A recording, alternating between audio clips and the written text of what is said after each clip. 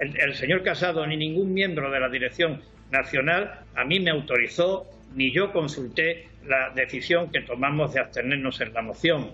Eh, por tanto, eh, la responsabilidad es mía y si vos tiene que situar aquí la diana, que la sitúe en mí, porque no tiene razón que lo haga ni con la dirección nacional del partido, ni tampoco con ningún dirigente del Partido Popular en ningún otro territorio. Eso sí, Vivas ha vuelto a defender, con los mismos argumentos, la abstención de su grupo parlamentario en la votación y a situar el trasfondo del asunto en la visita de Abascal el pasado 24 de mayo. Entiendo que el señor Abascal, cuando vino a Ceuta, lo que yo esperaba es que me llamara y me preguntara, oye, ¿en qué puedo yo colaborar eh, para tratar de que Ceuta no caiga eh, en el abismo? ¿En qué puedo yo colaborar para sacar a Ceuta adelante? No hizo nada de esto lo cual me hace pensar con toda modestia y humildad que el señor Abascal vino aquí con intereses puramente electorales. El presidente de la ciudad ha aprovechado la intervención para volver a hacer una llamada de socorro al Ejecutivo Central. Quiero pedirle socorro, socorro al Gobierno de la Nación